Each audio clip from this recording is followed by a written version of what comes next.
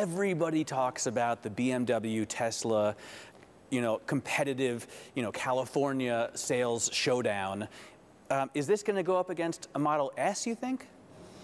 I think BMW, a real BMW doesn't compare to, to any other brand. And that is where electromobility actually comes to the heart of our brand of BMW. And that is the first real dynamic car uh, from, from BMW. So any comparison, I think, wouldn't give the right, right message. First of all, it has an acceleration of uh, only four seconds to 100 uh, kilometers per hour. It has a range of 600 kilometers. That's amazing. And of course, it looks like a real, uh, a real BMW, and that's what we are particularly proud of. The range, I think, has been the hardest to nail, but it's also got, I think, 500 horsepower, right? How do you, as an engineer, how do you achieve that? Because other German car makers have not been able to achieve that. You know, we started our first car, the i3, in 2013. And that's where we started to ponder what is the future going to look like. And we, we, we thought our architectures have to be able to be flexible enough to cater for electromobility and at the same time for combustion engine. And that is the, that's the result of our thinking about this. So you don't think pure electric cars are the future? Necessarily? I think, you know, you know, the world mobility market is highly fragmented. There will be specific niches where you can have only electric cars. But I think for us at BMW, where you need all the driving dynamics, which is much, much more than only the actual um, engine in the car, I think this is the right answer for us. But there might be other segments where we, where we only have uh, purely electric um, architectures. But I, I am a motorcycle rider, love the 1.8 liter uh, R18 that you're coming out with. Are you going to have an electric motorcycle, you think, on the market in the next two or three years? We, there's no decision on, on, that yet. But of course, we have prototypes, we are trying with it. But motorcycles is a different market segment than cars. I think electromobility has fully arrived in the car market. Almost everybody is working on it now. And we already sold more than 140,000 electrified vehicles last year in 2019. And we will accelerate that, that expansion of our range now. Initial investment is obviously huge when you're starting any new model. You've already um, done a lot of investment in electric uh, production. Will the costs after that start to sink? I mean, you need fewer parts in an electric motor. I'm, I'm not so sure that the overall complexity of the car is really diminished. You know, there are so many other components in the car. And of course, uh, to have flexible architectures which we can produce in the same plant as the other engines gives us a huge advantage over the competition. And that's what they are thriving on. What about the headcount? I mean, a lot of your competitors have already started reducing headcount pretty uh, substantially, and you have yet to do that. Are you going, do you need to keep up to catch up with them? First of all, BMW is a growing brand, so we need our people, our workforce, uh, for our growing strategy. And of course, we have started to invest much more heavily, much more in depth into electromobility, so there's no need for us to reduce our headcount. Uh, uh, what about the, I have to ask about coronavirus. Um, there was reportedly a case here at the R&D Center in Munich.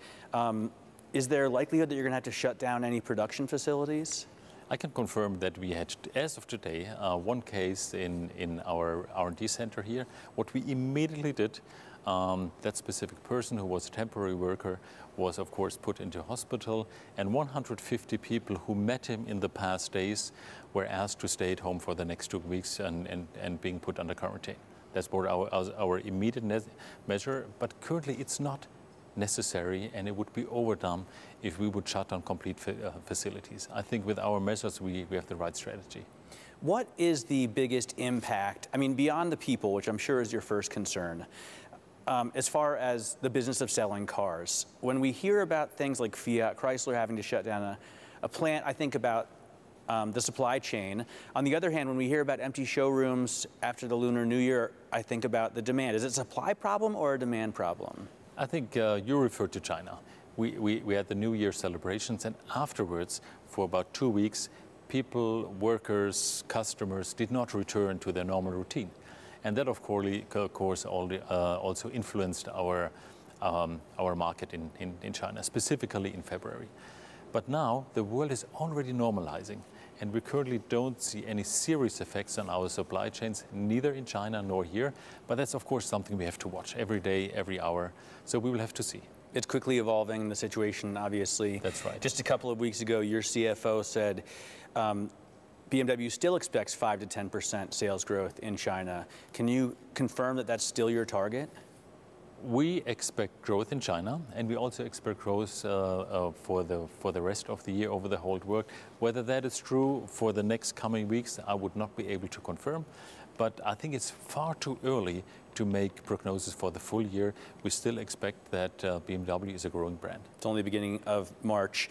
Um, it's also the beginning of your tenure here as CEO, which must be pretty exciting. Congratulations on that. What do you bring to the table that's different, or what uh, in terms of strategy, do you want to do differently than Harald Krüger? I think we have a set strategy. I've been already almost five years now in the board. So what we have decided, what we have pondered about, will not change rapidly. What we try to do to be faster, faster um, towards the competition. We want to expand more quickly, and I think we have we have created a very specific strategy which fits perfectly for BMW, Mini and Rolls-Royce and we are rolling that out now. And you will see that will be quite successful. We are, we're, we're quite confident about this. You did run a, a plant to build those Minis in Oxford. We're going through Brexit right now and also an important transition without a lot of visibility. What do you expect for the future of the brand? You mean in Oxford, Matt? For, for, for Mini, for the production for in Oxford. You know, for three years we are we're pondering what could, could, could the effect be. There has been no effect whatsoever until now on the on the Mini production, on the Mini supply chain, or the Mini brand in, in the United Kingdom. Currently, we will also see what is going to happen in the next 10 months until the end of the year. And um, but I would be a little bit more optimistic maybe than than the public um, because I think at the end um, everyone will, will uh, make sensible decisions that industries, markets um, can develop further. Uh, so, so I'm, I'm slightly confident. Minis I could envision being built somewhere else.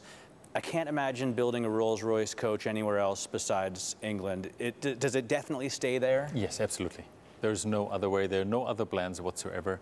A Rolls-Royce is an, is, an, is an English brand with English origins, and that will stay there. How, how is the luxury business? I mean, it's arguably the top shelf, a peerless product.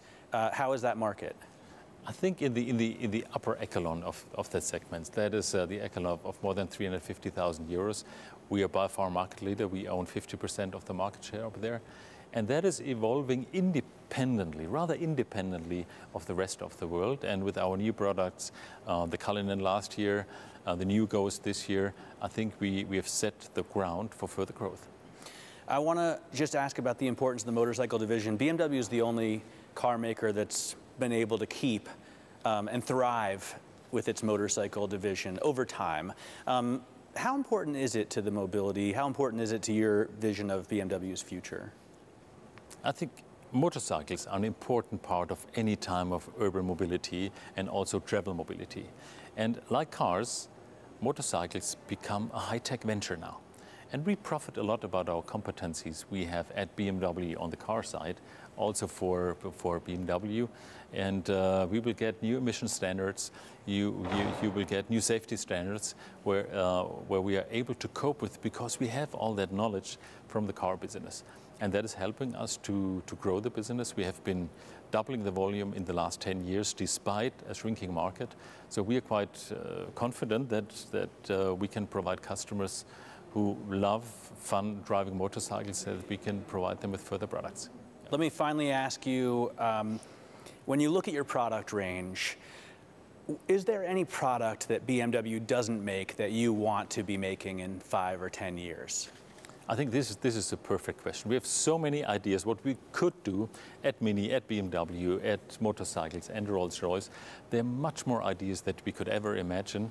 And we will, from step by step, have a look at it where we see a market niche or even a, a growing market where we can step in. And this is our continuous consideration to create new products for, for our customers.